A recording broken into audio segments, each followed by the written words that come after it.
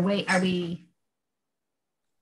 All right, this, so as you have seen, this meeting's being recorded, but um, we have the option of not recording your presentation or not recording the Q&A. If that is something that you would like, we've done that with the um, some of the ASCL panels the other day.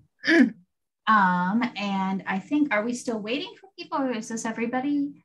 I would just like to let you know, Professor Kane, that um, Professor John Sheng won't be able to join us today because um, it's um, too much struggling her in his time zone. It's 3 a.m. in Beijing. Yeah, so, I was wondering why this panel was at at um, 2 p.m. Central because it yeah. seemed like it should have been in the morning. But. Right, right, yeah. And then another panelist, she's um, so Niyama, she might join us, but she's um so there's some electricity and also internet issue in her city, which is Karen. So I think that's that's not something that's okay. Surprising. But um, yeah, that's not so. Yeah. Yeah. Then among the three of us, Jordi will start, um, followed by me and Ima. Ima, would you like to go before me? I, I don't know. Okay, and I That's think fine. we may want to wait a minute or two. I don't know. Have have you guys been going to each other's panels today? Is there much of an audience, or has this been kind of a, a more of a workshop so far. Um, it's yeah, I think more yeah, maybe more of a workshop. it's been more of a workshop. Okay, so I don't have any of your papers this year. We usually submitted, they send us. Hmm? Yeah, I think yeah, we we submitted a paper like about a month ahead to the um to the event. So I'm pretty sure the organizer has everything, but just uh, maybe didn't circulate. Yeah. So as far as I know, I have not seen any. Usually they're on a Dropbox folder, and I did not get the link to that this year.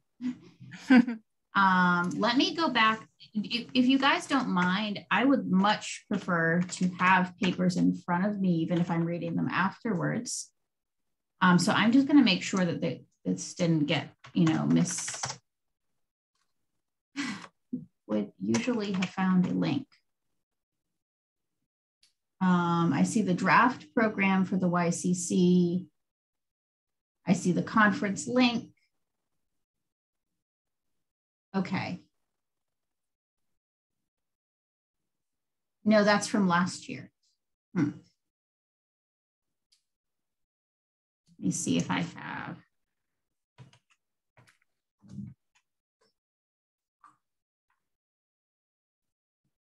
I just have a draft program. And I do not have a link to the Dropbox with the papers. Do you guys have that link? Um, I can I can email you right away. That would be lovely. I do have a I do have a email that I sent to the, the organizer about a month ago. Let me see if I can find that draft. Um, would you no, I mean, did they did they yeah. send you guys a link? Because usually you'd read each other's papers. I I don't I don't know if I received a link. I'm pretty um, fed up recently, so pretty busy. Um, and Imad or, or Jordi, or our our no. fearless moderator from U Wisconsin. nope, there was present. I saw a file where there were they were putting the presentations, but I did not see papers. Huh. Yeah. That's Sorry, was that a question for me? Yes, because it usually there's um, a Dropbox link and the folder where you'd find all the papers for the YCC specifically. But I didn't find those. So I'm just wondering what was, whether I the, missed. They weren't in the notes that I have. Okay. Okay, so I can send you. I can inquire about that real quick. Uh, yeah. I mean, I guess let's let's get started. And um, if you guys have read each other's papers, we can treat it kind of like a workshop. And I will, of course, a comment from ignorance, but um, maybe give me a little bit more of an overview than you were planning. well, Since. we know we know that we know that each other's work, but we did not read the papers, so we will be right now also understanding from each person what they're actually doing research on. So we provide comments on the spot about the research. That's more or less the idea because we did not reach each other's papers. Oh, you didn't read each other's papers this year. Okay. And did you guys like organize a panel together? Yes. Oh, awesome. So we, yeah. Okay. kind of discussed about idea beforehand. Professor King, if you can share with me your email, then I can, if you can just type. Sure, let me just put that in the chat. I will send you um, um, the papers that I sent to the organizer about a month ago. I, I will add, I will add Jordi's paper because that one he's already, it's already published. So um, Mhm. Yeah. Oh, and we have one person waiting to get in. Okay, there you All right, so. Um, did you guys have an order that you'd like to, to go in? Yes, so Jordi is going to present first, followed by me and then Iman. Awesome. Well, um, Jordi, whenever you're Should I ready. start? Yeah, yeah, good. So, so let me start by thanking you for inviting me here, hmm, for thinking about me in this occasion. Let me introduce myself really quick. My name is Jordi Quero. I'm, uh, I'm professor of international relations here in Barcelona, where I am currently the director of the master's program in diplomacy and, and, and international organizations here at the University of Barcelona. Uh, and I'm here with you to share some of my ideas that uh, were already published in an article at the uh, the current Arab Affairs Journal. uh, that to some extent were initial thoughts that I'm still struggling with. I have to say, even if the if the paper is published, and and it's something that I'm still still with me in my current research. So it makes a lot of sense for me to share some of these ideas with you and try to check what uh, what do you think about my next steps in, in, relation to this research so really quick i'm presenting you here today a paper that i entitled china's impact on the middle east and north african regional order unfolding effects of challenging the global order and, and i'm going to start by, by describing the initial research interest all in all in the with the belt and road initiative context there is a renewed interest in china's impact on the MENA region uh, the numbers of, of, trade relations and economic investments are totemic. So many uh, brought back China into the study of the Middle East and North Africa region, the MENA region. So in this context, I start, um, I start asking myself a few years ago, what the effects of the Belt and Road were going to be, not for China's relations with regional actors per se, but on the relations among the actors in the region themselves. Hmm? Let me go back re really quick for a second. When academia pay attention to the new US foreign policy in the region in the 1950s, the questions arising were not only targeting how Washington, how Washington's new stances were affecting its bilateral relations with the region, but a great deal of attention was devoted to how the new US foreign policy would reshuffle, would reshape the relations between regional actors themselves, between Egypt and Israel, between, between Saudi Arabia and Iran, between Turkey and the rest. So this is the intellectual niche uh, I, I identified. Not many people seem to be asking them that sort of questions. And this is my overall research focus, as I said, in the last few years. Uh, at this point, I think it's it's worth mentioning that um, that I'm not a law scholar, but I'm an international relations, global politics scholar. So even if my, my arguments are going to be drawing from um, from legal studies, my proposal here is a political science one. Um, what is the main argument I'm presenting you here? I propose that the most important impact that China is going to have over norms and institutions constituting the, the constituting, sorry, this is a difficult one for Spanish speaker, constituting the current MENA regional order is not going to be through its actual relations with the regional actors, but actually through a parallel channel, namely the consequences unfolding from China's different challenges to the global order, to the broader global order. Every instance in which China might prove successful in articulating parallel or alternative global norms and institutions to those currently defined by the global liberal order could trigger deeper shifts within the MENA regional normative environment. Hmm? In the international relations discipline, one of the central debates and research questions nowadays um, is about what we could expect China's attitude towards the liberal order institutions to be. Hmm? Some voices, as you know, uh, are arguing that we will see a contestation and replacement process. This may be a direct consequence of an emerging new distribution of power favoring those actors who were marginal in the post-Second World War context of normative inception. So now they might be willing to adapt the global order to their own priorities, to their own values and, and practices. And within this box, even uh, a minority of scholars think that this might lead uh, former stakeholders and uprising ones uh, to be drawn into an armed conflict. Hmm? Some others are talking about China being uh, what they call a modestly revisionist power, meaning a new international actor which feels comfortable within the global order, and it's going to try to implement some minor cosmetic changes to this former liberal order. And a third group, and this is the one I generally include, include myself in, feels that what we are witnessing here right now is the articulation of a parallel, not actually a substitute, but a parallel set of norms and practices put forward by China, which might, which might consolidate over time. These norms I'm talking about are actually emanating from China's direct relations with international actors.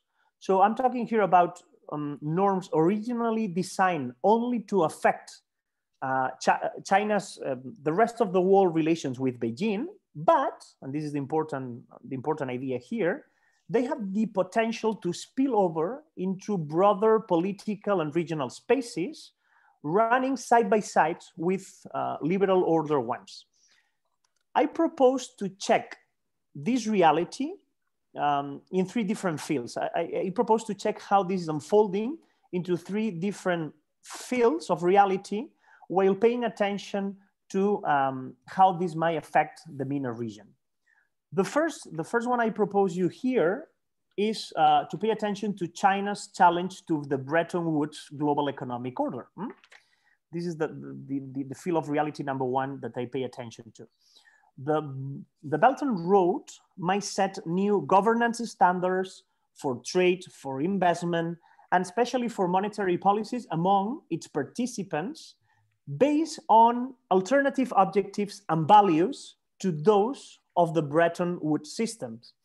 Um, as, has been, as, as it has been already underlined by Shen Wei, the, the Belt and Road initiative might not only merely facilitate trade, but also it might socialize its participants into new and evolving frameworks that are to be established especially around the project, obviously. All in all, what I'm trying to say here is that if trade and investment of such a large magnitude is carried out on the basis of a new web of norms and standards into which all the actors that are involved are socialized, we will face a broader normative challenge to the existing global economic order. In the Middle East region, there are three elements that might be impact. Number one, the Bretton Woods international financial institutions policies and their lending policies in the regions, in, in this region. So China's dissatisfaction with the Bretton Woods system, especially with the World Trade Organization, has brought it to the creation of the New Development Bank, the AIIB, and the new Silk Road Fund, these institutions do not only challenge the monopolistic, the former monopolistic position of the IMF and the World Bank, but they also propose new approaches to international aid cooperation and loans around the issue of conditionality uh, uh and, and how they manage conditionality. Uh, putting it plainly, they are looking for new formulas that might um, that might go beyond Washington consensus inspire measures.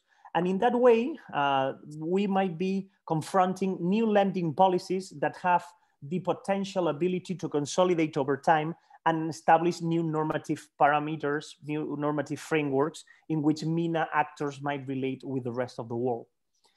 Second element which might be impact, impacted is the post gold dollar standard and its central position in the international monetary system.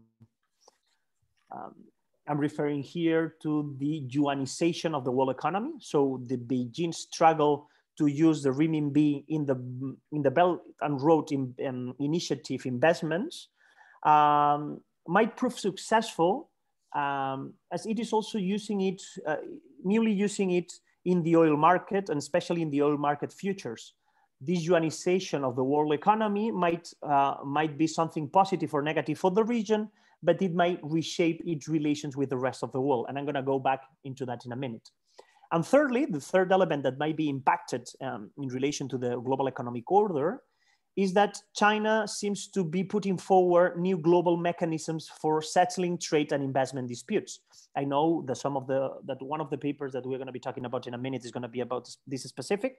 So I'm, I'm not going to stop much here, but you know that there are new courts for the mm, Belt and Road Initiative associated disputes arising in the in, in the last few years. China has put forward, uh, has been putting forward the blue book on dispute resolution. So they are proposing alternatives to the global uh, economic order as we understand it nowadays. The impact that these three major challenges will have on the middle on the Middle East regional order could be significant. In broad terms, if alternative governance systems take shape and are consolidated, and especially if they become the last resort for development and sovereign lending for many states worldwide, the states in the region, the MENA states, might benefit from competition. Hmm? Uh, in any case, uh, where currently they have no alternative but to turn into, uh, but to turn to the IMF or the World Bank and accept their conditions, um, in the near future, then they might be able to explore competing alternative um, competing alternatives, sorry, in the search of the best offer. Co this competition might at the same time trigger some internal reforms of the Bretton Woods institutions in governance mechanisms in conditionality.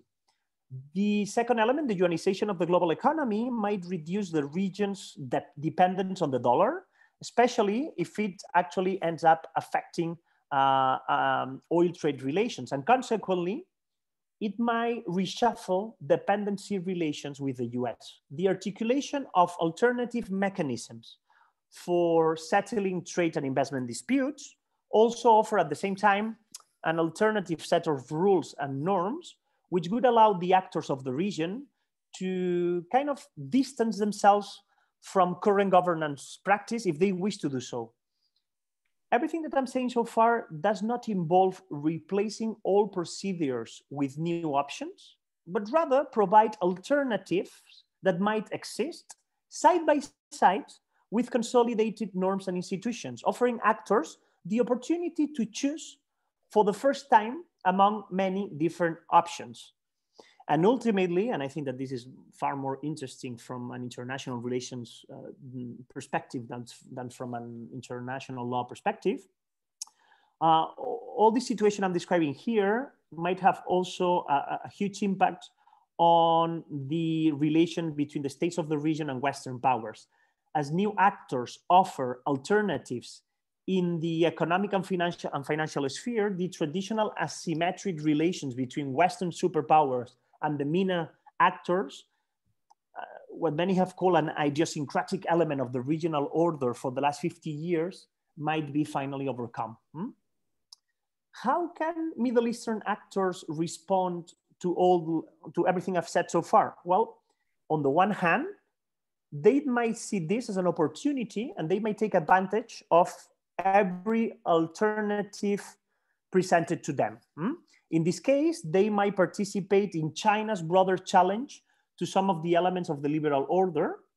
And this could range from directly collaborating with Beijing in an effort to, to bring change at the global level, to simply benefiting on specific and limited occasions from Chinese-led global governance parallel order. Hmm? But most importantly, alternatively, they also might act as what has been labeled as norm entrepreneurs. So they might attempt to prevent changes from taking place. This would happen in those circumstances where regional actors felt more comfortable with the norms and institutions emanating from the global economic liberal order than from those uh, being proposed by China. Uh, let me give you a really quick example. For instance, uh, um, those attempts to modify the dollarized condition of their trade relations could, uh, could concern regional actors um, as, they might as they might perceive this to, to increase uncertainty levels and economic insecurity. And in such situation, it might be reasonable to accept uh, that uh, those actors might be, bad, might be more comfortable with traditional norms and they might not come side by side with China in challenging the global order. Hmm? The second, and I'm about to finish now, the second uh, field of reality that uh, I pay attention to is China's challenge to the law of the sea. Hmm? Uh, I'm not going to stop here as I know there's another paper on the issue, but I might argue that China could be willing to change at least five critical central elements of the, uh, of the international regime on the law of the sea. Number one, uh, greater oversight and control of exclusive economic zones. Number two, uh, China is advocating for a tailored, self-defined and ad hoc interpretation of the concept of historic, historic rights in the UNCLOS framework. Number three, China um, is uh, extending its enforcement jurisdiction deep into extraterritorial waters. Number four, China suggests to apply straight lines in the definition of its territorial sea emanating from its disputes in the South China Sea. And finally, the, the fifth element is that China is really reluctant to submit any sort of dispute to international courts or any mechanisms of, for arbitration. So they favor bilateral negotiations with the parties involved rather than multilateral judiciary mechanisms. My point here is that if China's goal is to renegotiate the essential bargain of the law of the sea, through this patient, persistent effort at reinterpretation, some Middle Eastern countries might be good partners in that respect. They have traditionally been really uncomfortable with many of the critical elements, the central elements on the uh, Convention of the Law of the Sea and all the rest of the normative, um, the normative, um, the rest of the norms coming after that.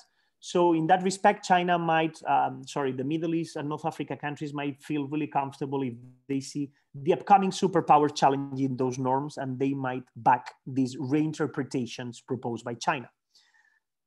The third and final field of reality I pay attention to is um, what I call the global order's liberal rights dimension hmm? and how China um, is challenging this liberal rights dimension most of the Middle East countries and China, how should I put this? They face similar challenges in how to improve the rule of law, how to improve individual liberties and governance mechanisms to reflect better the interests and priorities of their citizens at domestic level.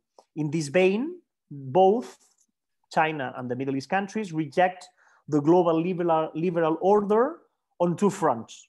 Um, they claim that the liberal elements granting individual rights to their citizens, um, they, they perceive that they are going against a broader self-defined idea on collective rights. So the difference between individual and collective rights.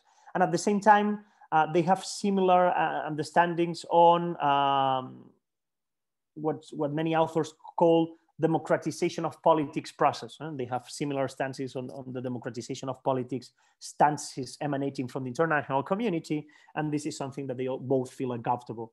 Uh, mm, Middle Eastern regimes might bandwagon with China when it comes to facing the effects of the liberal order. So they can articulate a common front with the, rising, with the rising superpower um, that could trigger reassertive approaches to the liberal dimension of the liberal order um, the contestation of this liberal essence of the global order will be easier by Middle Eastern countries if the rising power in the system also feels uncomfortable with it and opts for challenging any of its potential effects. Hmm? And, and just to conclude, my, my, my, the final idea, and this is precisely the one I'm working in, in the last year or so to try to, to, to, to fully, um, to, to, to, fully nuance it, is that one that uh, after everything uh, I've said so far, I think that what we are witnessing here is that China is becoming what I've called an indirect, sorry, indirect normative power.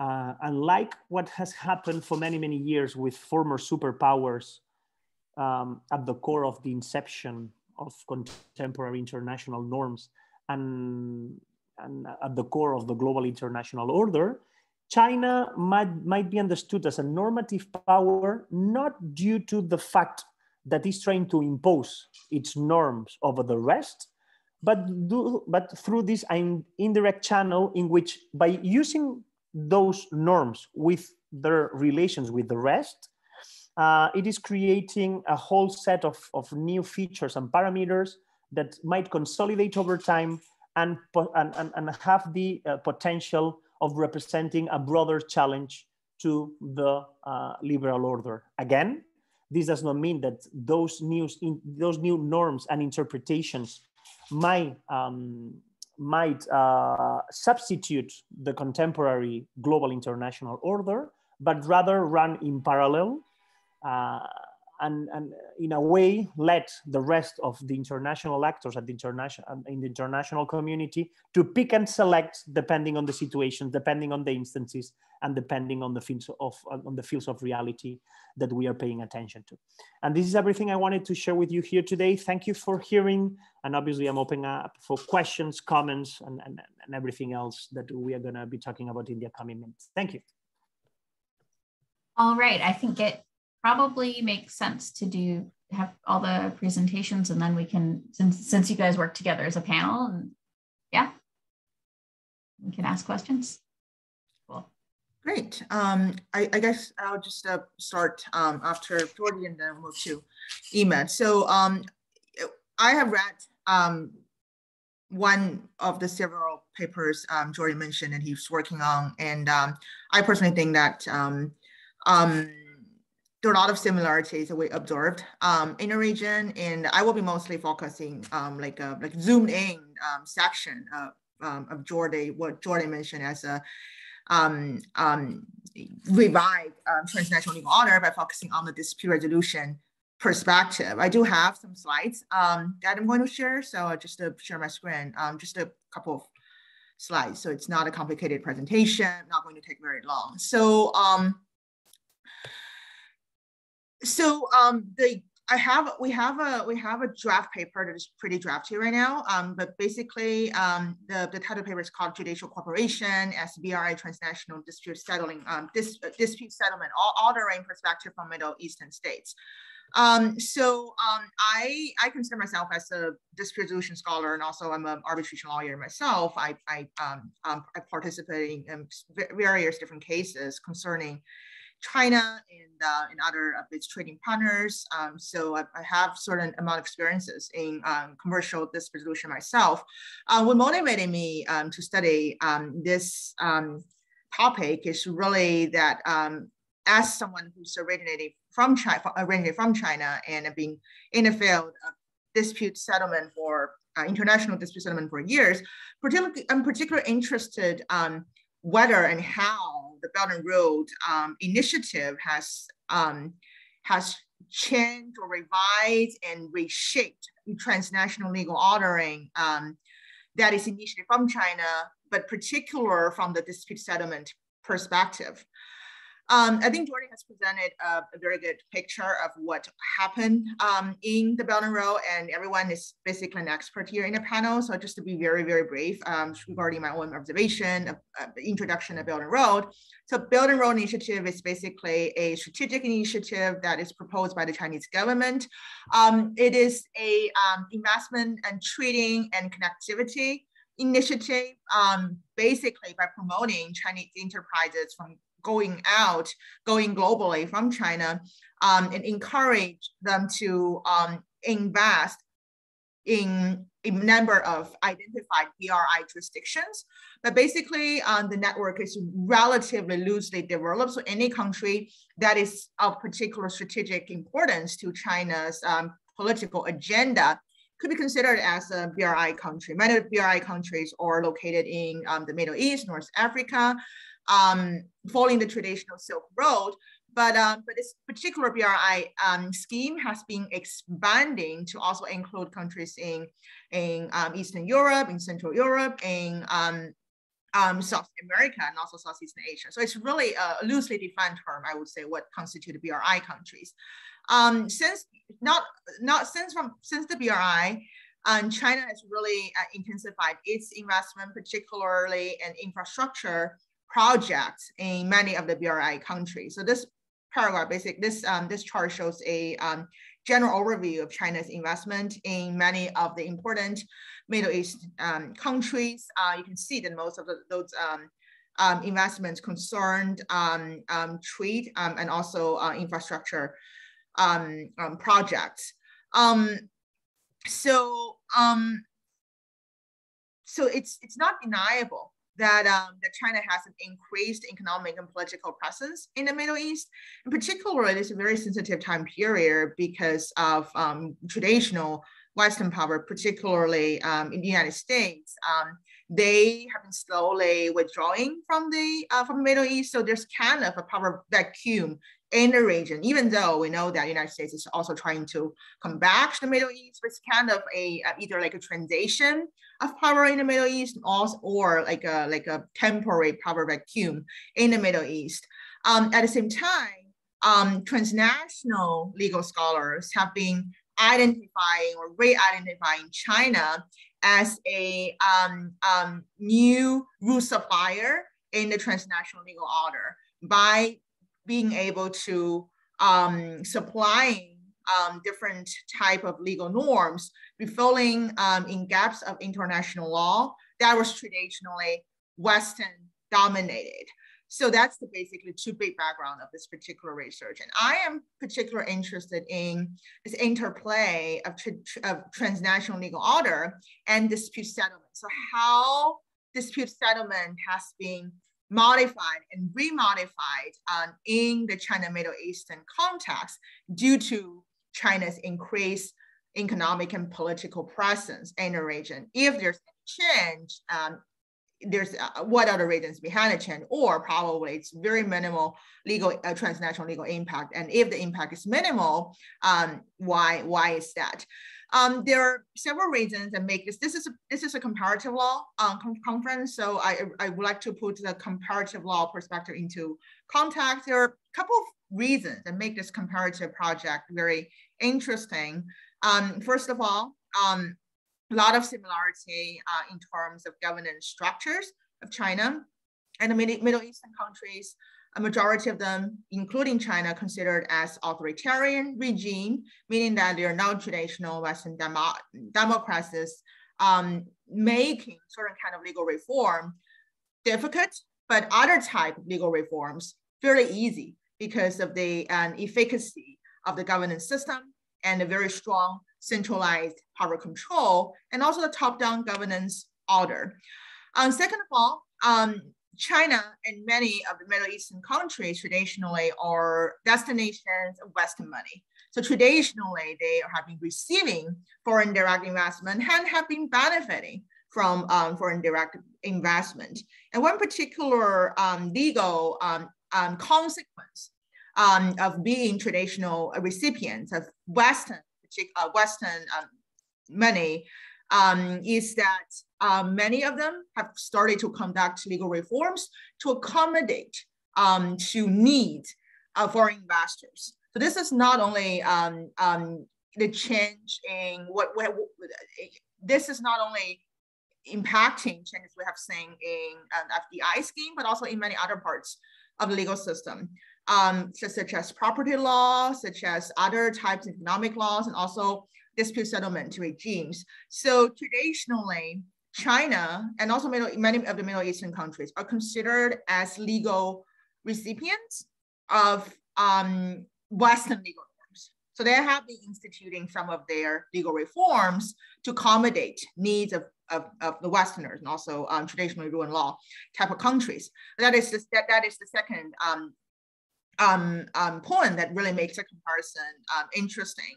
Um, Middle Eastern has a lot of uh, regional integrate, um, integration um, and particularly as I mentioned before, there's certain type of U.S. and China geopolitical tension in the Middle Eastern, also um, adding a, additional um, dimension to um, to this comparison.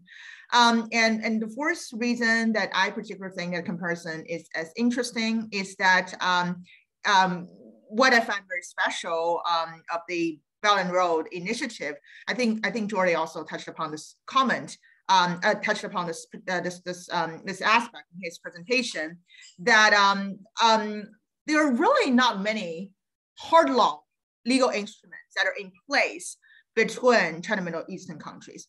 There are some bilateral investment treaties. There are some treaties and conventions. But really, um, since initiative, um, since the initiation of Belt and Road, um, there hasn't been, we haven't witnessed any, any type of increase of number of hard law legal instruments between the two regions. Um, the BRI is basically um, a soft law based mechanism. Um, China is really pragmatic in terms of instituting any type of change through the BRI. Um, as um, Professor Petersmann mentioned in one of his recent paper, there's really this kind of informal bilateralism. So what I'm also quite interested, um, what, I, what I'm also quite interested in com comparing is that um, how the role of soft law matters to um, this, this new type transnational legal order between China and Middle Eastern, because it's not like traditionally um, a hard law um, or international or international legal instrument initiated order. Um, so that's the background of the research and also basically um, the rough research question for um, this project. Uh, what do I mean by transnational dispute um, resolution order? So traditional trans transnational dispute resolution order normally means international arbitration um, because arbitration has been the main method of resolving international commercial and investment disputes. We're having a lot of um, research that, that that that tries to link transnational order um, between arbitration, um, which emphasize on increased role uh, of merchants, they um, increased demands of party autonomy, um, and um, the communication of transnational legal uh, and transnational legal actors. So people usually associate international arbitration with um, with transna transnational dispute resolution order. But um, but has China been supplying a new transnational dispute resolution order through the BRI? Um, in this paper, we think that the answer um, is a negative. I'm not sure how um, another co-panelists think, uh, approach this question. Um, so as, as also mentioned, China has been promoting different types of dispute resolution mechanisms um, in um, together with, with its BRI trading partners, but none of them is um, effective enough to replace any of the existing dispute resolution mechanism. Um, China tries to promote arbitration, mediation. There's a new um, commercial court, but um, from practical perspective, really haven't seen increase of number um, of cases being taken by the China International Commercial Court. Um, we don't we don't know if um, um any um, of the mediation and, and arbitration um, have started to move out of the traditional popular choices of party to to be taken to be absorbed by this new transnational dispute resolution mechanism um, um, proposed by China. So um, I really think that um, in the in the area of transnational dispute settlement currently, um, China hasn't been able to do much with the BRI. Some of the reasons might be because particular with uh, regarding to Middle Eastern states, um, they are they have already initiated arbitration reforms earlier and mostly really honored um, a Western style rule of law. So um, it's really hard to draw those parties um, away from their traditional um, top choices of arbitration venues, such as ICC in Paris and also uh, some of the um, Middle Eastern centers themselves, like the center in Dubai and, and Doha. So um, we haven't been able to see um, a switch um, of parties' preferences uh, since um, China proposed this BRI initiative. Uh, and then because we, we won't be able to find any kind of support from arbitration field, we kind of move to um, to judgment in, uh, to um, to some of the steps China has been taken to promote bilateral treaties between Chinese judiciary and Middle Eastern judiciary to see if there's any type of convergence practice um, in the field of, um, of um, court um, initiated dispute settlement uh, mechanisms. So we have been focusing, studying the changes in three different countries, UAE, Egypt, and Iran, um, all of them basically have different kind of existing legal order by either favoring a common law induced um, dispute settlement order or like a more innate kind of um, or hybridized with Arabic elements and dispute settlement mechanism. All of them have a pretty strong institutional support of arbitration, but with the BRI, we do see that all of the courts have been signing um, treaties with Chinese courts. Uh, and to enhance their judicial collaboration with Chinese courts, particularly in the area of, um, of, of um, recognizing a mutual, uh, we're recognizing um, each other's um, judgment from the court. So um, we of wonder, because this is a like ongoing project at a pretty early stage, we kind of wonder whether um, this so-called transnational dispute settlement order trying to initiate uh, uh, by the BRI was actually a new order that is dominated by more centralized judicial organ trying to drive people to resolve their disputes, not by traditional means of arbitration, but really to move back to, um, to courts. Um, um, we don't know if that is the case, but that is something we're trying to propose in the paper. Some kind of explanation we, we, we, um, we're trying to, pro we, we propose in the paper include maybe there's like a power balance or imbalance, maybe there's certain socialization factors that you see in Middle Eastern as perceiving China in one way or another. There could be some institutional inertia or other cost-effective reasons that uh, we, we discussed in the paper. Um, but um, but uh, the main implications I kind of want to um, I want to talk about here and maybe to um, call for some discussions after uh, all the presentations are done is that um, what are the key differences between a BRI-induced transnational dispute settlement order and a traditional one? Um, does it have any potential of overhauling existing dispute settlement infrastructure, or uh, maybe it's just like an alternative that um, that people can reserve, um, which, which runs parallel with uh, any of the existing transna transnational dispute settlement and infrastructure. And I'm also quite interested in the role of government in um, inducing such type of order because traditionally this type of dispute settlement um, um, mechanisms are, are really actor induced and whether um, the China factor has uh, shifted the preference of um, parties by resorting to a more top-down kind of structure. So um, this is, I think, um, we're, we're here. one difficult, one major difficulty we have been facing during the research stage is that um, we're just having a lot of difficult time gathering data because there are not many cases we can study. Um, we have been interviewing people, or transnational legal actors, but haven't been able to gather a lot of hard and solid evidence to back up arguments. So maybe by opening up to discussion, um, we can talk about ways of further uh, supplement some of the research idea we already have here. Okay, I think that ends my presentation here.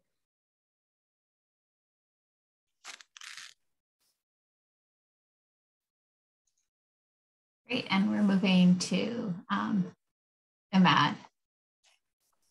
Um, yeah, uh, Carrie, is there a way to remove the slides? Because I also have a slideshow. Sure. Yeah, if you, if you just uh, stop share, then that should. I, okay, yeah. Great. Okay, so I'm just gonna. um, Right. So oh, you're in Qatar. As a start, so I'm just going to introduce myself. My name is Imad Ibrahim. I am a research assistant professor at the Center for Law and Development of the College of Law of Qatar University. Uh, I spent three years in China previously working on European Commission projects related to climate change and energy. And I've been doing some work on BRI in terms of uh, environmental, environmental governance in places like Central Asia and other places, mainly on water, energy, and food. And so once I came to Qatar and I've seen all these things playing out here and uh, Western withdrawal from the region, it caught my interest to understand how does how would the BRI impact the MENA region from an environmental perspective, while taking into consideration trade, because I see trade and environment or trade and non-trade concerns as extremely connected. And so based on that, I was I'm, I am wondering here, and this is again initial stages of the project because there are too many data to, to discuss and too many things to think of, and I have too many questions in mind, which I also hope to share that with you. So we try to also figure these out. Um, because in my mind, there is, for instance, recently the, the agreement signed between China and the EU concerning investment, which was recently signed. There is also the work being done between the US and China. So my initial idea would be that China or thesis for this is that China gonna try to use any kind of agreements between the GCC or MENA region countries and Beijing in a way to enhance its influence in the region. Meanwhile, that will impact the Western legal traditions here, which influenced the region since like the last century because of colonialism and other impacts. So that's more or less more broadly what I'm thinking of. Of course, I need to go more deeper into that, and that requires more research on the topic, but that's where my interest starts off. So let's start with the beginning. So China has a go west strategy. There's a, there's a lot of investments by Chinese companies in the MENA region, especially in places like Egypt and elsewhere. Uh, these countries, it goes without saying that these countries have huge strategic importance for China in terms of geopolitical and energy security. Uh, China actually imports a lot of conventional energy from places like Iraq and the GCC. We're going to see that later on. And because of that, several cooperation mechanisms have been established. Early, the earliest like were recorded in 2004 the main area in the region where these kind of cooperation mechanisms were established were the GCC, since the GCC area is the most developed, where with the most connections and cooperation with China. And that's, that's also understood given that the kind of energy import and export that happens between both regions. So rounds of negotiations between GCC countries and China started since 2004. The idea is to establish a free trade agreement. It's not established yet, but that's sort of the long goal of the of both parties. So how what do they what, what does Beijing exactly want in the Arab world? Well, I'm talking here again from environmental perspective, cooperation on various issues, energy security, agriculture, uh, environmental issues like climate change, water shortage. So from an environmental perspective, these are all issues of interest to China, especially that China is actually witnessing a huge air, water, and soil pollution as a result of various elements, including climate change. So A, China has, at this stage, China has enough expertise to try to, and know-how to try to export that to the rest of the countries, given that they had to deal with that for the last 20 years and still have to deal with that.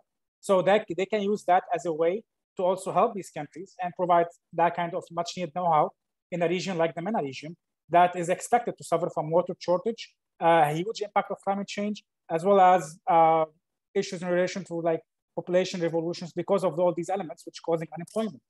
So if I'm gonna have a question from this research I'm trying to ask is, okay, China is seeking to create free trade agreements with Arab countries. At an initial stage, they need, they're trying to create free trade agreements with the GCC area. And we've seen as like at the EU level, every time the European Union creates an association agreement with another country, there are these kinds of carrots of sticks used by the by the EU where they include provisions related to, related to sustainability within these agreements. So a country can benefit from EU funding, for instance, or EU support as long as these provisions are actually respected. So I am wondering, would these FTAs, could these FTAs include these kind of provisions from the, from the Chinese counterparts as to help these countries benefit from their the, from the Chinese initiative in terms of environmental governance, while at the same time doing trade through the free trade agreement? That's the question in general I'm asking. It's still very broad. I need to still narrow it down more or even focus on a specific area. But this is, I have been thinking about that for a while. And uh, And now with what's, what happened with the European Union, with the agreement between China and the EU, that that is something that even made things broader because that can even be used as a model to understand how China is actually dealing with other parts, other regions in the world. So that's more or less the question I'm trying to, to reply to. So what kind of free trade agreements China made with Arab countries? Well, for the last decade, two decades, there are very, very several like long-term mechanisms established. And these kind of mechanisms have gained further importance with BRI. So the first thing established was something called China Arab State Cooperation Forum. That was established in 2004 for ensuring cooperation between, between the GCC or even the Arab and the Chinese parts. So since then, numerous conferences took place and sort of partnership, it was suggested between the countries to, to have common development, common ideas. And even China has a, had a recent China Arab policy paper where they discuss different pillars of cooperation, including one those on environmental governance. So already China has a strategic importance in the region, and that's why there is this kind of interest to try to address how to balance free trade agreements with environmental governance. Meanwhile, taking into consideration how would that impact US and European influence. So besides this kind of cooperation, China, as we all know, imports a lot of oil from the region, be it the GCC or Iraq, and we've seen that with the previous presentation in terms of oil import from the region. Uh, we had several rounds of agreements being done or at least negotiated between both countries. They remain very difficult. So that both parties are still, they lack a little bit of trust. It's not the same dealing with like with the European Union or the US, there's a difference of culture between both parties. And they still, I would say, need the, they still need a little bit more time to understand each other before an actual agreements like that is created. But so far, negotiations are happening slowly. I would say the recent events in the GCC, like the blockade that happened in the last four or five years, impacted these negotiations because Arab countries were concerned with other stuff, mainly internal affairs. Uh, so the question is, well, that's not a question actually. One would wonder whether how these FTAs between China and GCC will move on because their success or failure would actually impact whether further FTAs are signed between China and other Arab countries and are actually modeled based on that. So what are the environmental pillars of cooperation that China insists on in terms of cooperation with the Arab countries? One, of course, is energy in terms of conventional and renewables. So Arab countries obviously export uh, conventional energy to China in exchange. China exports its renewable energy to the Arab countries in terms of solar panels and in terms of wind energy. And that is extremely important for GCC countries because they're looking, countries like Saudi Arabia and like Qatar, they're looking for energy diversification. And especially that they have the entire desert there. So we, call, we have something called now here the desert economy, where they're trying to build their entire new economy based on that, trying to benefit from the desert. So it's so far, it's well exchanged uh, of goods and services between, between both, both uh, regions. So they also, China is looking to invest in agriculture. I think they're doing a lot of work in terms of agriculture, trying to export some uh, agriculture from the region, but also investing in places like Egypt or Sudan, actually, where there is like fertile lands to try to actually invest in lands there that, given that China also has a big market to feed, a lot of citizens in China requires food and they don't want to have food insecurity. So it's also a two-way street between both, both regions, or the China and the MENA region. So again, what are the main issues that are being seen as environmental cooperation between China and the MENA region? Climate change, water, air, soil, uh, other elements of the environment, biodiversity, and even addressing desertification. And there are other elements as well. So again, the question I'm asking, should Chinese cooperation via these free, these free trade agreements provide necessary support for the Arab countries to achieve sustainable development goals? one can answer yes, one can answer no, depending on the argument one may decide to choose.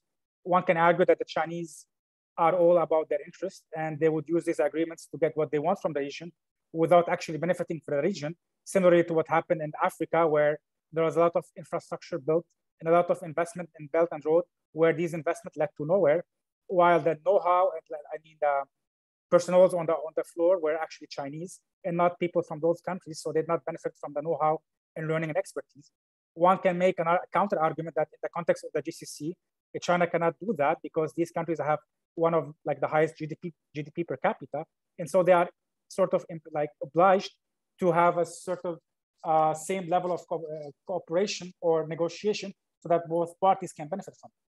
Both arguments are valid. We will have to see if that will take place or not.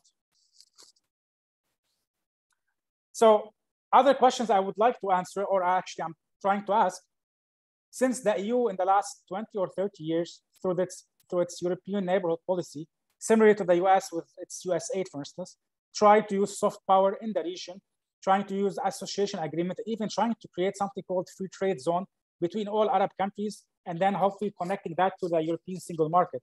Could China try to do that using free trade agreements while balancing that with environmental protection? We don't know. But that's a question there.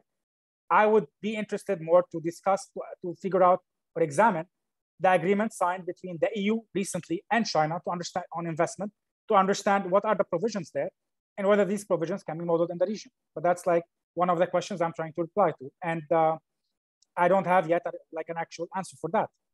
Uh, but these provisions would actually be more pragmatic because there is Chinese interest, there are also Arab interests. So both areas can take that into consideration and draft provisions that are actually pragmatic, feasible, while considering other interests.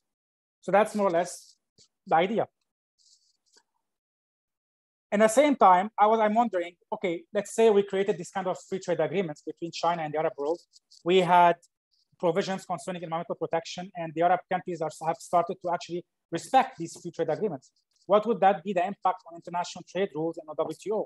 Because plenty of these Arab countries are not members to the WTO, and for the reasons that in case they open their markets in accordance with WTO rules, uh, their markets will be flooded with cheap products, and their industries will be will go bankrupt. And so, that could that kind of free trade agreements like initiate or sort of start as a process for Arab countries in the future to increase their the competitiveness of their markets to accede to WTO, we would we would see. It's not it's not like that's another question that requires a response, but that's like either in the near or the long term future to understand these issues. So this is how the Arab, Arab countries have sort of an opportunity here to use the Chinese experience as well within the WTO to, uh, to create sort of a sophisticated regime based on which they could at one point accede to the WTO.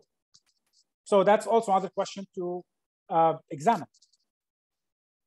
And among the rest of the questions, like these are like sort of a summary of what I have, what kind of questions that we were just discussing. So again,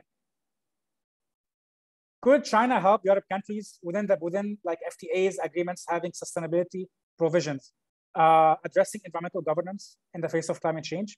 We don't know yet. Should these be used uh, for other areas in the Arab world or even for the WTO? to like create a sophisticated regime for the other countries? We don't know yet. What's the impact of these kind of agreements or China's soft, water, soft power, but also in this case, hard power in case of agreements on US and European legal influence in the region, especially that this influence stems from centuries of colonialism or simply uh, cooperation between both like either the EU, US, and the MENA region. All these questions require, require a response. I will have to start from the very simple question, which is uh, should could this like could we have a free trade agreement between China and the GCC, balancing trade and non-trade concerns? So that's more or less the presentation where I'm starting from, and I'm looking forward to your ideas and comments on this to understand what you think of this. So thank you very much.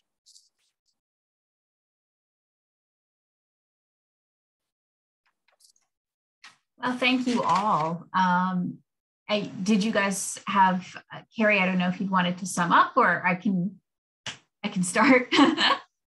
no, sure, yeah. Okay, well, so I think it's so fitting that this panel is taking place at the University of Wisconsin because this is such a realist panel, and I mean this in the sort of American realist legal tradition, right? It's foregrounding politics in its approach to both um, private and public international law um, and in its approach to comparison. So it's uh, it's quite fitting that it's a te- technically Wisconsin this year.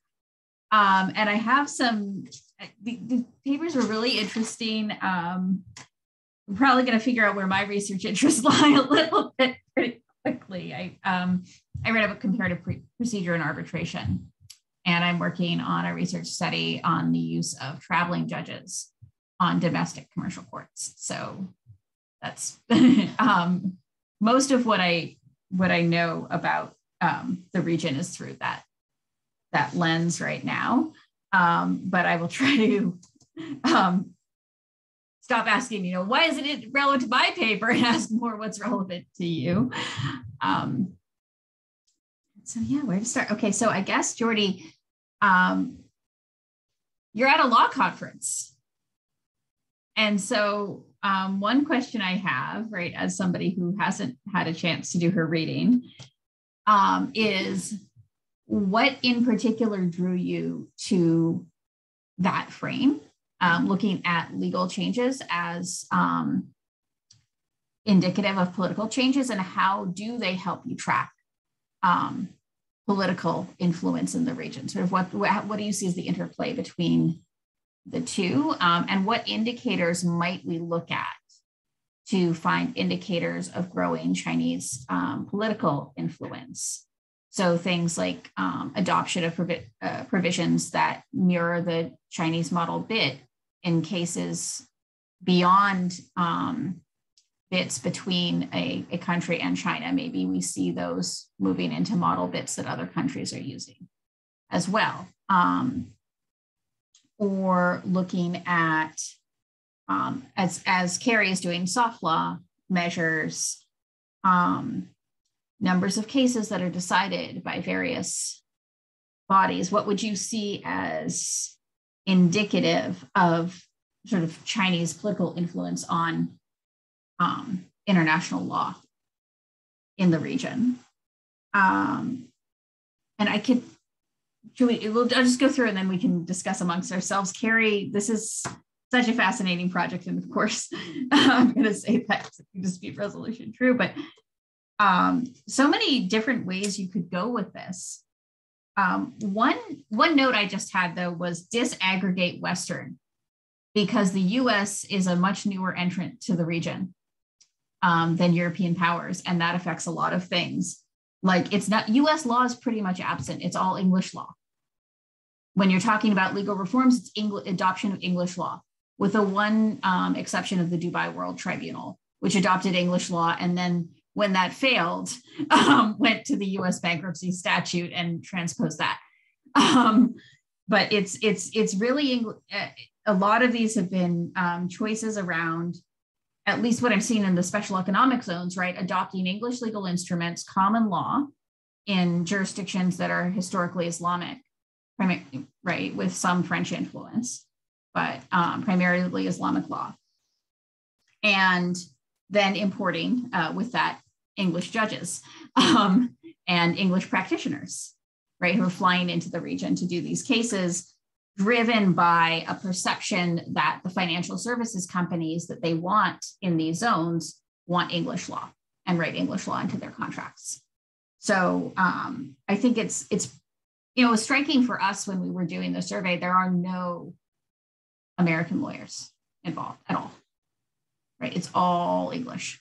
Um, and and Singaporean and Malaysian, but no nobody from the U.S. Um, but uh, it's in, it's in, uh, Australian, Hong Kong.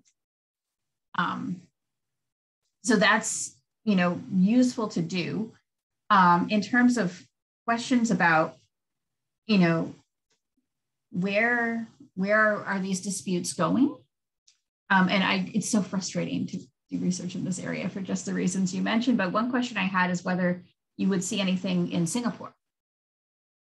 Because it seems like Singapore is trying to position itself as a sort of lawmaker in the common law commercial world.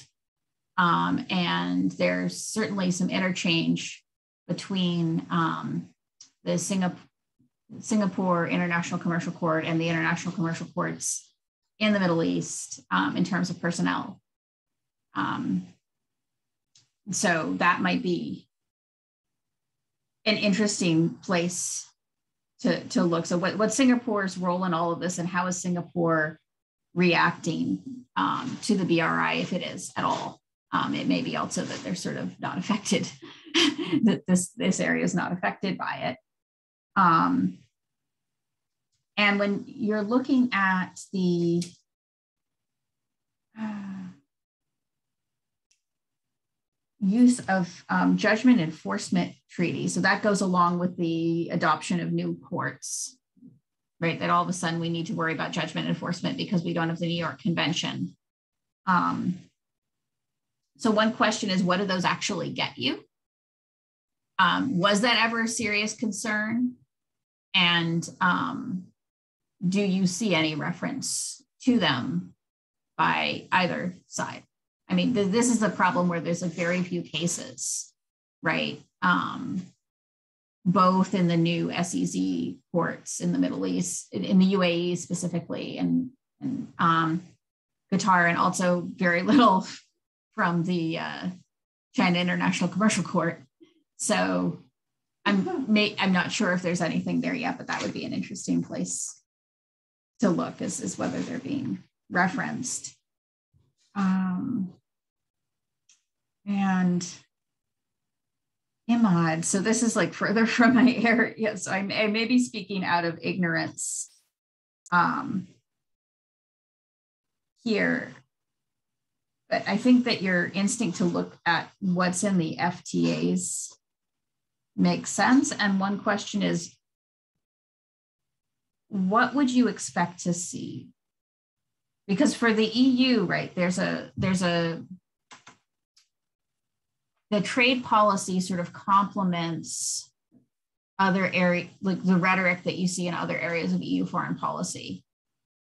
Um, that's putting an emphasis on um, the environment. And of course, there's a lot of political push within the EU for that emphasis.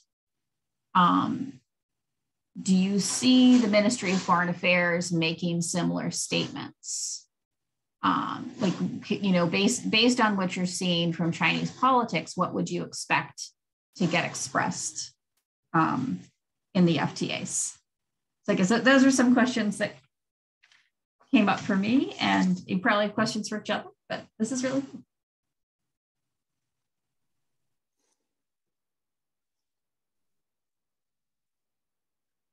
Jordi, would you like to? Yeah, sure. I can open fire. So uh, thank you so much for the comments. Uh, thank you so much for the rest for all your presentations.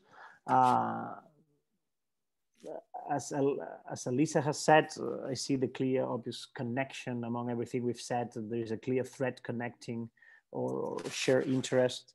Um, addressing the question on the interplay of law and politics, this is kind of one of my personal obsessions.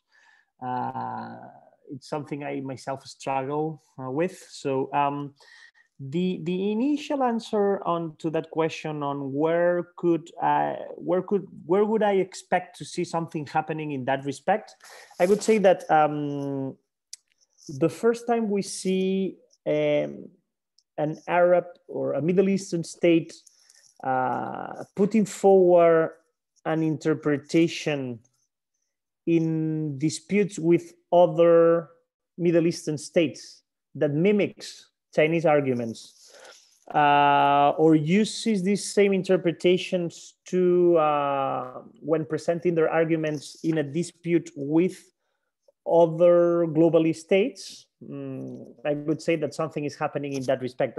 I would expect this norm diffusion slash norm accommodation to be seen by, by the incorporation of those narrative elements into the construction of arguments in dispute settlement uh, within the region and with the region, with the rest of the world, not with China precisely. Um, when I see uh, when I see Lebanon using the Chinese doctrine in, in straight lines in the definition of its territorial sea to, uh, to make its case against Israel, I would say, well, this is taking shape. This is finally taking shape. Uh, China uh, has, has, has, has had this indirect normative power that I'm talking about here. When I see a Middle Eastern International Law Commission member advocating for the adoption of a specific set of norms uh, by the international community, mimicking the um, the narrative or, or, the underpinning uh, interpretation that China has over a specific issue, I would say, well, here's here I see what what what what I'm talking about. All in all, my, my basic point, and I think I should have said that clearly uh, in a clear fashion, is that um, in many instances, Middle Eastern countries uh, do not feel fully entitled when it comes to dealing with international law in the sense that they feel that they have not been fully incorporated into the, into the decision making and the inception of international law as such. Hmm? They feel as, as, as marginalized in that respect, so they don't feel as, as, as real actors in the definition and implementation of international law. So I, get the impression that the more China uh, proposes alternative interpretations to some norms, they might be they might feel really comfortable with just following that path and accepting that interpretation to, to actually express what they might actually think about some of those elements in international law. And this connects my argument with something that uh, Carrie mentioned in her presentation, and I would like to make a general, uh, to share with you uh, um, a general feeling in that respect. I think that it's also important that we pay attention to uh, what we could call extra law solutions, hmm? not only to soft law, but also extra law solutions. And what do I mean by that? When you were asking yourself about the impact of soft law and, and, and the, the preference that uh, regional actors have on, on, on using soft law instead of, of hard law or any other mechanism, I think that there is a, that we have to accept that there is a broad regional rejection to participating in new hard law instruments. But not only that, there is also a reality in which they prefer to conduct the regional relations, avoiding law as an instrument. Hmm? So um, for us, sometimes it's really difficult to think beyond law, hmm, as we are obviously studying law, or, part, or partially we're studying law. But, but um, in many occasions, what China and the Middle Eastern countries share is that politics are preferred to law. And I think that this also applies to dispute, uh, to dispute mechanisms. Hmm? I think that uh, in, in, in the upcoming future, when we see Chinese companies having disputes with Middle Eastern companies, we might expect um, uh, these disputes to be settled through political means, not necessarily judiciary nor law means. Mm? I, I, think that uh, this is something that we need to pay attention to. Like I said, extra law solutions that might be in place.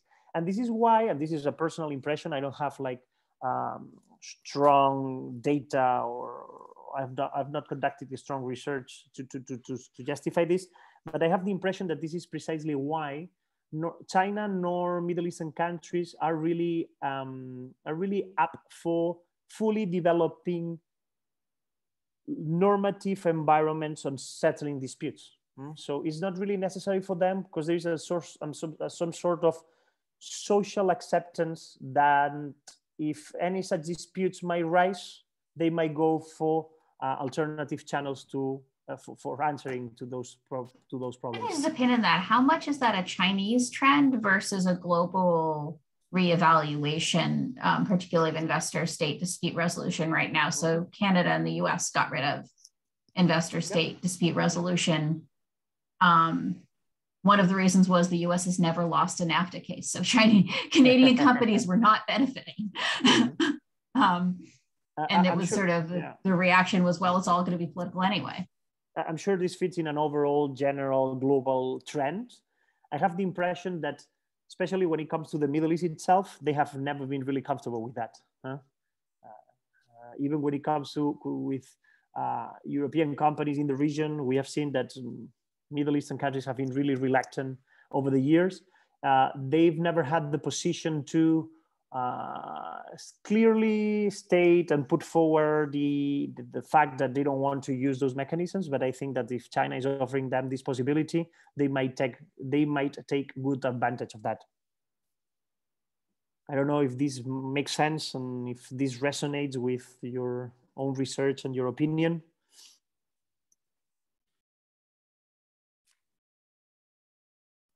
Um, I need to intervene here for one second for what uh, Jordi said concerning the Arab countries, uh, sort of neutrality concerning international law. And I'm speaking as an international lawyer who came back to the region after 10, 10 years of it being all over the world from west from the west to China. I can I would say that unfortunately the main reason why Arab countries are not involved in international law is because there are no international lawyers competent enough to do that. And I'm speaking as an international lawyer because I can see that there is a lack of international lawyers or people who actually understand international law who are Arabic speakers. And this is like, I am already working at one of the second best universities in the region, and I could see that um, maybe there's a second person in the entire university who's an Arabic speaker who understands the like international law, uh, who has an idea about what's happening at international level.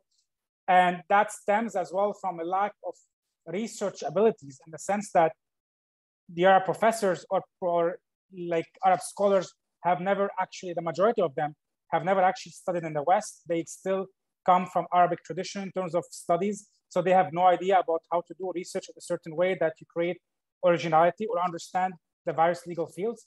So that affects uh, like Western Arab, sorry, Arab perception of international law. How can an Arab country influence international law if international, if Arab legal scholars do not understand international law themselves? So, and those who understand it, there are few people who studied in the West are actually um, kept aside from their governments because they don't like their positions. So especially when it comes to like water resources, transboundary water governance, uh, I know several experts, for instance, who are Sudanese or Egyptians who've studied in the West and are very influential, but their governments do not use their expertise because they, they take a neutral position and try to solve the countries, the, the conflict. So they're not political. And that's how that's what that's that's one of the main reasons. So mm -hmm. I might really agree with you, Matt, in, in, in with everything you said, but uh, I've had the chance to have similar conversations in the past, and I always highlight something that I think is important in that respect. Um, if we talk about the Middle East in general, this argument that you're putting forward doesn't take, I think, into account um, how private actors have been really um, have been properly using international law in that respect. And what do I mean by that? Well, uh, if the Citigroup, if Dubai Port, if DP World, Dubai Port World has a conflict with any uh, American company, uh, they have all the means of and, and they know they, they they can hire the knowledge from global um, from, from global law firms that have been able to defend those arab interests worldwide so in that sense my point is that this might be something happening at the public level uh, when it comes to, to, to, to international mm-hmm. public law but international private law is, is another totally different story well, but these but these companies or the people working in these companies remain uh, non-Arabs, which means they will eventually get back to their own countries and they will not create a sort of Arab jurisprudence or international legal scholars who in the long term will do that. I agree with you. And I've seen that in the blockade here in Qatar where uh, Western professors at my university were hired by the Ministry of Foreign Affairs to, to have mm-hmm. cases against like Bahrain and Yemen. Yeah. So I could yeah. see that. So, but mm-hmm. they're not creating a know-how and knowledge that actually Arab scholars are benefiting from, and that's that's mm-hmm. that's a shame. But that's yeah, yeah. Mm-hmm. I guess we're starting to see like very much a comparative lens. They've heard of those out of the panel already. Really enjoyed the um, the dialogue we're having. Also, um, Alicia's comments. So, um, just to respond very quickly, I think we're how much time do we have left? I just think that we have become very immersed in the conversation. Um, we have until so um, we have about another 25 minutes by my watch. Yeah, sounds good. We, can always uh, finish early if we want. Um, right. So basically, with regarding to um, Jordi's point on, on law um, and um, legal and after legal kind of research approach, I definitely agree with you that if like a top like adopt a, like a more extra legal approach, maybe the the the, the uh, conclusion them having might be a little bit different or more influential. But the thing is that have to be. I, I'm also very struggling with the type of um, journals I'm, I'm, targeting, right? I mean, if I'm not a political science or, or IR scholar, so um, if um, I, am aiming for law review, then they will probably want like more, much more nuanced legal analysis compared to um, only be talking about actual legal factors. So that's something to have to bear in mind, although I kind of agree with you. And also, um, I think Imad kind of alluded to this point a little bit um, already in his response. I also feel that when I am speaking with um, scholars in the Middle East, um, um, regardless of if they are overseas returnees or if they are like more kind of trained in their own legal culture, I do feel that they're kind of um, the type of resistance um, um, in their narrative that if you are accusing them or alleging that uh, Middle East hasn't been like a very active player or can root complier um, in the international law regard, I, I, feel I feel that there's very kind of strong resistance. Um, at least in part of them, like not trying to accept that. I, I feel the same um, about Chinese scholars, especially those who like a trend in China that they many of them do think that China is a very good international law complier, even though that's kind of not the, the general consensus um, you are having internationally. So, so because I'm, I'm collaborating with uh, Middle Eastern scholars, I have to be very cautious with that um, um, as well. So that's kind of my two responses to Jordan's comment. Even though I kind of agree with you myself, I do I do feel there's kind of um, compromise, like as co-authors, we have to take in respecting each other's uh, legal tradition and approach. Um, um, but but I, I, think I think those things are something I can bear in mind. And if I'm going to expand the paper, very likely in the future to be um, incorporating more uh, from the actual legal perspective. I'm not sure if this is a global trend though. I feel that China is trying to like sugarcoating itself as um, or or trying to legitimize a lot of this approach of um, um, um, um international, especially in recent years, by uh, towards like a stronger approach um, of legalize some of its norms um, and also um, trying to advocate for more like rule of law or rule by law approach. Um, it doesn't really matter if people um, believing what China is doing um, or not. I, I, just think that this is the general kind of narrative um, kind of dominating in China uh, among Chinese scholars, including those Chinese scholars who are writing in English. So that's kind of my my um, my observation um, in that regard.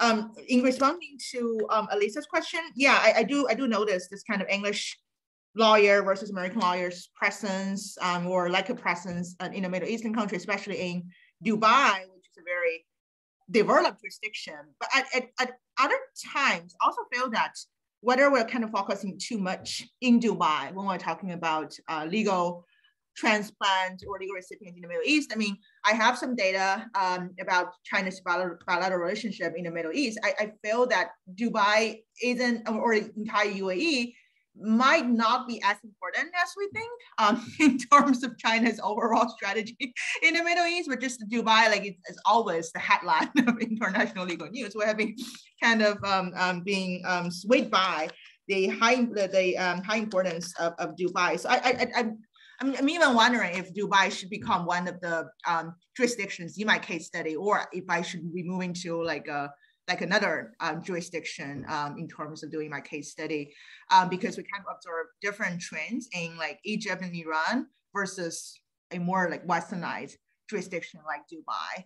Um, uh, another thing that I'm trying to think um, of is also the kind of the different player trying to take over Middle East. Not sure if Imad agrees, but um, but you do see this kind of competition of Western law, Western rule of law, and and the China initiate order um, being being English law. Yeah. U.S. law is not yeah, there. very much. Um, so I, I, think this is what makes the paper interesting and difficult. Um, whether there's like a re renewed order or China is being pragmatic and trying to um, propose like alternative order by trying to um, persuade its trading partners to be focusing on judicial collaboration instead.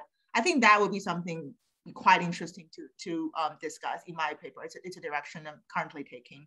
yeah. Well. So one question with that is how much is that coming from the Chinese side versus um, courts in the Middle East that have also been pretty aggressive about pursuing mm-hmm. judicial cooperation agreements internationally? Um, I'm actually not sure. I haven't been able to to to see much of the background being discussed. Usually, you see like a kind of court saying that they have been signing this judicial cooperation with another court. Um, in terms of Iran and China, which just signed, this is quite atypical because you add a enforcement recognition of judgment treaty to a economic partnership treaty. I think that's quite that's not a very conventional thing to do. So not sure about Iran. Maybe Iran was pushing something. Maybe China was like pushing Iran to do it. But that's that's something that is really hard to get to um, behind the curtains thing. so I haven't really been saying much, but I think that's a very good question, and maybe something we can we can start to. There's um, a, there's like a Gulf Judgment Enforcement Treaty that might also be a model. Yeah, yeah, yeah. Right, yeah. So that's something that's quite interesting as well.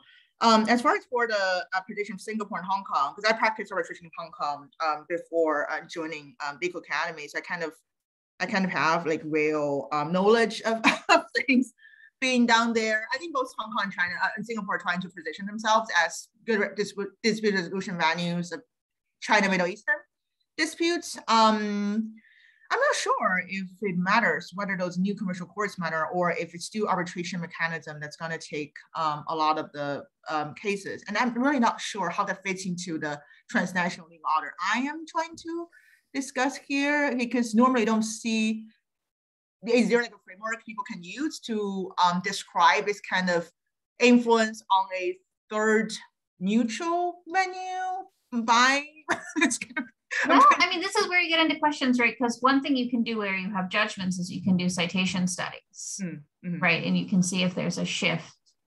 Um, where you have publicly traded companies, you can look at dispute resolution clauses. Yeah. Yeah. You know, have they chosen the forum? Um, yeah, nobody's really choosing the SICC yet. They're all getting thrown in there by mandatory jurisdiction. Um, Interesting to look at as well. Yeah. But yeah, that I, the I I'm I've seen some some good examples of um, citation studies, but you can also obviously do those badly. And with arbitration, it's really hard because yeah, yeah. If you don't mind, I can get in touch after this yes. panel to see if you have some good papers to recommend. Great. Mm-hmm. Yeah, I had to email. All right, so I think there's something like I I need to mention before I'm, I answer the questions, and I think we did not mention this, so it's important. So I've been doing research on China BRI in the context of water resources in the Mekong and in the Central Asia. And what I found is that China's approach, if it's very pragmatic in the sense, China's approach is one country, one treaty. So China is not focusing on trying to establish to like use international law, but rather still be in like in a driver's seat in this regard through this one country, one treaty, and not using international tribunals, even in case uh, these tribunals will not suit the Chinese interests. That was extremely obvious in the case of, of in the South China arbitration case between China and Philippines, where the Chinese didn't even really care about what's happening there. So uh, I think this is a very realistic approach just to try to connect that with uh, the questions of uh, Alisa concerning Chinese and Europeans, which one is more successful. Uh, Chinese approach stems from being pragmatic and realistic. What do they want to do? how they want to do, to do things, which way to get the results. Meanwhile, Europeans, I have the impression it's more like sort of an idealism. And that's, I got that impression while living in Europe as well. So if the first question I want to reply to, what do I expect to see in the FTAs? Uh, I expect to see a lot of strong uh, sort of compromise, like provisions where a lot of compromises are being done between China and the EU uh, in the sense that I give you this and you give me this, and we are all happy in a certain way. Uh, although I I did not examine the, the FTA yet, I would assume that plenty of provisions uh, include direct or indirect or implicit or explicit things that not both parties were trying to get, and they had to do it, frame it the way they did. So I'm pretty sure the agreement will be subject to a lot of criticism from scholars from both parties and we will have to see exactly its practical implementation to see what, what would be the impact of that. Uh, I have no idea yet, but at least European Union as a whole can have this kind of conversation with China uh, because it's like a, one of the bigger, like one of the strong, like the, the strong economic blocks in the, the world. So China, EU, US. So that is possible from an economic perspective. In the MENA region, if I connect that to the second question concerning uh, how do you see Chinese getting involved here com in comparison with the European Union, I would say they would try to learn from the mistakes and failures of the European neighborhood policy that the EU has been trying to establish for the last 20 years in terms of association agreements, FTAs, all these things, all the money and funding that came from the EU over the region, which half of it was not used, or if it was used, like there are no actual implementation practices. To give you an example, in Lebanon, the EU built 11 or 12 uh, recycling factories to try to recycle garbage. And uh, since then, they have never been used. And when I tried to, like, when I answered, when I asked the European like officer a question about that, they had no idea that this is happening. So European investment money is being spent, and they don't know exactly where this money is going, and what, there's no accountability. Despite the fact that there is the European Commission, there is the European delegation in Lebanon, they have no idea what's happening there, and it's their money. So I don't see the Chinese doing the same thing. Uh, and I don't see the Chinese as well. Uh, they, will learn from that and they will ask for immediate like returns. I hope the Arab countries will learn from the expertise and experience of other countries with China. So not to have places like Sri Lanka where the entire ports there now are under Chinese control because of the debt, or having entire countries in Africa switching their currency to, to yuan because they cannot handle the debts they also well like went under. I see that possible with the GCC countries. I don't see, unfortunately, African, like Northern African countries or even Middle Eastern countries able to negotiate with China. So I see a GCC at a better position, but not Middle Eastern countries or North African in this regard. And I, I, I would be afraid that in particular in the Middle East, that sort of combination of Russian and Chinese influence will be used to market the Belt and Road, especially in the context of Syria, to rebuild Syria, where there's a huge competition taking place right now between Western companies and Chinese companies, not and a little bit of Russian companies, because there's like expectations of 40 billion dollar of worth of investment in Syria to rebuild the country, and that's all money that will have to come from somewhere, and somebody has to benefit from that. And so we can already see the competition taking place there from a realistic perspective. So I can see the Chinese better than Europeans in this regard because they're more pragmatic. Yes.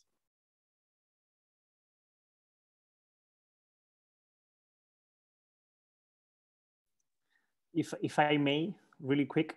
So um, um, just a suggestion for Carrie, where you were talking when you were talking about uh, Dubai courts mm. or bringing the example of Egypt or Iran. Mm. I think that if we are taking a look at the broader Middle East, mm-hmm.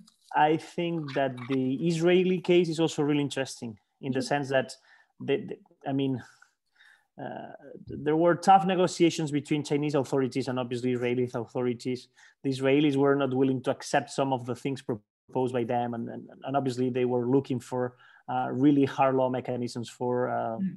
protecting any investment and, and, making everything clear before joining or signing any any paper they have in front of them. So, if you're not talking about only Arab states or um, but instead you're talking about the Middle East, the Israeli case might also be really interesting. Uh, and, and, and in that respect, um, uh, another general, another comment that I've heard repeatedly in Arab capitals is the following when it comes to this to settlement, this to dispute settlement mechanisms. Um, and it's something that we need to keep in mind. They, they are really they keep always in mind that many of the Chinese companies that might uh, be associated with the Belt and Road Initiative are ultimately public companies owned by the Chinese government itself. Hmm? Mm-hmm. So uh, this is something really important. So uh, many know that they might not have the room for going for settlement disputes mechanisms yeah. uh, because ultimately what they will have to do if any dispute arises is directly talk to the Chinese government. So I think that the that the nature of the companies themselves in these cases is something really important to take into consideration when when thinking about uh, the efforts uh, put forward to materialize uh, mechanisms for dispute settlement. Thanks, Jordi. That's a great piece of advice. We haven't, yeah, we haven't been looking at um, the characters of public, of, of the types of companies that are participating in those disputes. I think that's a great direction. Interestingly, that I was invited to speak um, at a China Brazil arbitration conference um, this week, and it, it, what what interests me there is that actually there are a lot of there are a couple of China Brazil, I mean, di disputes that are uh, taking place in Brazil involving um, Chinese state-owned companies. So uh, I asked about, I asked Brazilian um, practitioners why that, that might be case. Um, I think many, many of them were telling me that because there's a mandatory law in Brazil requiring or asking their Brazilian companies to only be accepting to arbitration if they can arbitrate in Brazil under Brazilian law and in Portuguese. So I'm not sure if there's similar law in the Middle Eastern countries. If if no, then that would be something um, very interesting to to compare and to and to consider. So yeah, I think the characters of um, of um, companies are important, and also that might be another reason that it's easy for China to institute a more like court um, um, centered order. Well, this might be where you really need to chop up the region into like Arab world versus yeah. Persian versus um, North Africa, right? Because I would expect that with Iran, you have a lot of SOEs as well. Yeah. Right? Yeah. You have a ton of SOEs. Mm-hmm. So if it's SOE versus SOE, mm-hmm. Mm-hmm. Um, de- negotiating the dispute resolution clause, it's going to look very different. Mm-hmm. Yeah, interesting. There's um, Turkey in the equation as well. Then we can't yeah. forget Turkey. Yeah. Right. Which is gonna have a whole different. Yeah, yeah, I mean, there, there's really not manageable. no, no, but but but curiously enough, in this case, the non-Arab countries of the Middle East are far more interesting than the Arab countries themselves. Agree, agree, yeah. So I think that this is something really important here. Yeah. Um, Iman, just one one uh, comment to your uh, paper. I'm not. I mean, I've been writing something about investment treaties. I'm not an expert in investment law at all, but just a um, um observation is that even like there's like a general trend for investment treaties to be adding like more like SDG provisions. And do you see like a striking difference between Chinese approaches and EU approaches, or or China's just trying to follow or or mock up what other countries are already doing there? Chinese approach. The problem with the Chinese approach is that there is no Chinese approach. It's very flexible. There, there, there is no treaty there. That's that's that's that's their, their, their power in that. They don't have a treaty. They go. That, that's. I mean, there is a model BIT. Yeah, but yeah, it's like but, it's one country, one treaty. Yeah, it's like yeah. Being flexible, but not being flexible. We do things as we go, uh, as we see fit. I've seen that in Central Asia, and that's the way the way it's like this is the closest place to have the Belt and Road there with all the stance countries, Kazakhstan, Uzbekistan, all these countries there. Mm-hmm. Uh, it's just we go, we, we do the deals with them. There's water being shared. Okay, we have an agreement on this, and but we are very flexible, so it's gonna be very general. and so we can play within the agreement to do whatever we want. So mm. it's really not the European way of doing things at all. And uh, so I think the, yeah. the, the, the, strength there is the flexibility, the, the, the way they're doing it in a very flexible way as to take into consideration all the interests and being open to, mm. to changes. Well, it seems like you're also dealing with non-democracy to non-democracy, mm-hmm, right? Mm-hmm, so the mm-hmm. European Union is constrained by its parliament. Mm-hmm, um, mm-hmm. Israel would be constrained, although asterisks on that with Bibi, right?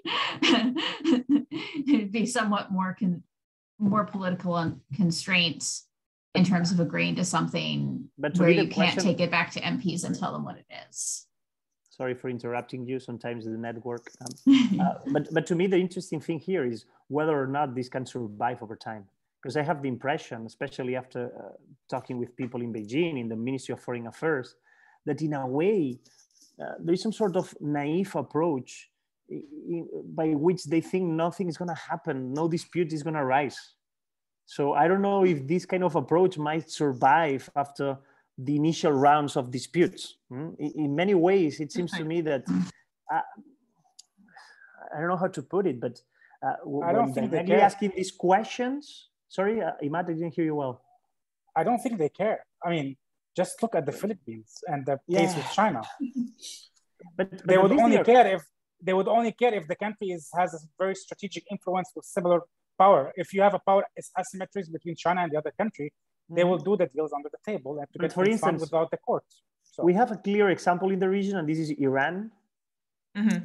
Iran might, might might fit in that position that you're talking about, huh? the specific strategic interest, especially after the end of the JCPOA and the and the oil deals that are going on mm-hmm. right now between mm-hmm. China, uh, how China is not paying attention to U.S. sanctions in that respect, and how Chinese firms are pumping the oil out uh, without paying any attention to none of the of the sanctions in place.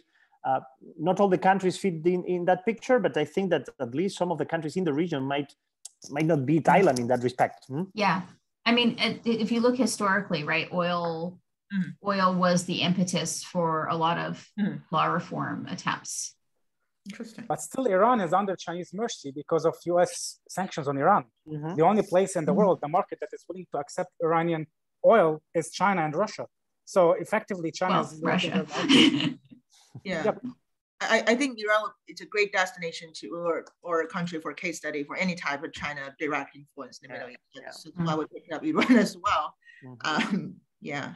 I wish um, Neema could have joined us because she's an Iran expert, but um, um, it looks like something's going on there. But um, but really enjoyed this conversation. Yeah, this is fascinating. Um, and you know, you have my email, so I'm I'm interested in in seeing papers as they develop and Definitely. Thanks so much. being in touch. Thank you guys. Thank So you thank you so much. much, everyone. I hope that we can find a way to move forward. I don't know how, uh, but, but I, I'm sure I'm sure it will. there is some sort of connecting thread here that we need to kind of explore, Yeah. further explore. I don't know how, but open up. We are for working on something, just to let you know, Khod, we are working on something. and We've been doing that with Kerry for the last two, three months. Mhm. So we will we'll be in touch with everybody. Now I've seen Alyssa's interest, so yes, that would be great to have her also Yeah, on we will, on yeah. Perfect. Yeah. So Yeah. So that's that's that's great. Fearless so much uh, moderator everything, telling us yeah. that we're out of time. Oh yeah. Thank you. Thank So you. you still have like three minutes. So I mean, if you want to stretch it That's out, it's fine. up to you. I mean, we have three minutes. We- we- yeah, we will we will do it um the next occasion. It's yeah, it's great. I know it's getting really late in, in Ahmad It and is. but Well, only have a good night. Thank you for Spanish. staying up. Only the dinner All time right. for Spanish. have a But good All day. right. Bye. Thank you. so much. Bye bye. All right. stay in touch. Bye.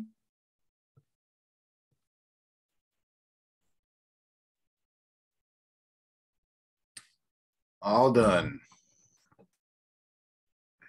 End meeting for all. Oh, hold on. Yeah, uh, stop the recording.